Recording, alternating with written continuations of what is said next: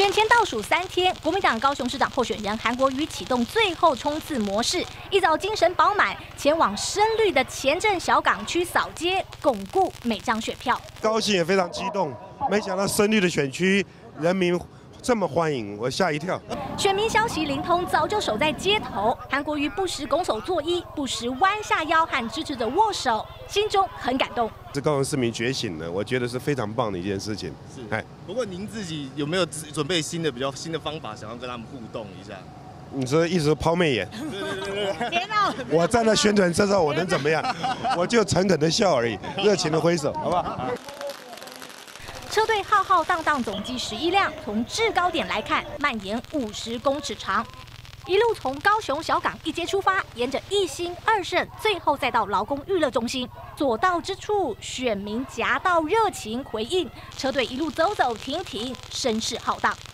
大家民心思变，刚主委也在讲民心思变，为什么？因为大家都不想要这样下去了。韩式旋风狂扫，韩国瑜发挥母鸡带小鸡精神，带市议员候选人一同扫街。上午巩固第十选区前镇小港区，下午力拼第五、第九选区大社仁武凤山等，晚上固守第六选区鼓山旗津等，预计三天扫完高雄三十八个选区。选战最后倒数，无疑是体力和意志力的考验赛。韩国瑜拼好拼满，力求在最后关头以韩式旋风全力催楼 K。记者综合报道。